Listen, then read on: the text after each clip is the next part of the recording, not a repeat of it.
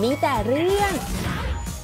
โรงเรียนไหนวันนี้เรามาดูหนังไทยแนว romantic comedy fantasy กันบ้างนะจ๊ะ เรื่องนี้นำแสดงโดยน้องแบงค์ทิติ กับน้องต่อธนภพสองหนุ่มสุดหล่อในใจเจเจเองจ้ะ ผลงานการกำกับของชยนพบุญประกอบเรื่องราวของป๋องนักเรียนชั้นม .5 ที่มีความเชื่อว่า ไม่ว่าที่โรงเรียนไหนก็จะมีชนชั้นกันทั้งนั้น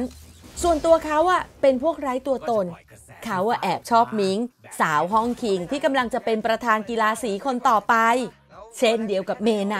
ที่ทำตัวไม่เข้าสังคมเลย เพราะว่าเธอต้องการจะปิดบังความลับ ที่ร่างกายของเธอสามารถปล่อยกระแสไฟฟ้าออกมาได้ เวลาที่เธอตื่นเต้นแล้วก็ตกหลุมรักใครสักคน ทุกครั้งที่เธอเข้าใกล้พี่เฟรมรุ่นพี่ม .6 ที่เป็นทั้งประธานสีทั้งนักกีฬาโรงเรียน เธอก็จะเผลอปล่อยกระแสไฟฟ้าออกมาทุกทีป๋องล่วงรู้ความลับนี้ของเมไหน ทั้งคู่ก็เลย ร่วมมือกันเพื่อจะเอาชนะใจมิงกับเฟรมบทสรุปความรักที่ไร้ตัวตนของคนทั้งคู่จะเป็นยังไง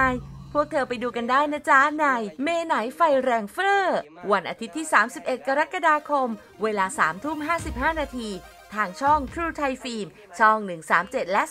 236 วันนี้เจเจไปนะจ๊ะ ขอตัวไปดูน้องแบงค์น้องต่อของเจเจก่อนบ๊ายบาย น้องเมย์เป็นแฟนพี่นะไม่ใช่เธอแล้วจะเป็นใครจะเป็นใครหน้าไหนเธอไม่ใช่เธอ เมไหนไฟแรงเฟ้อ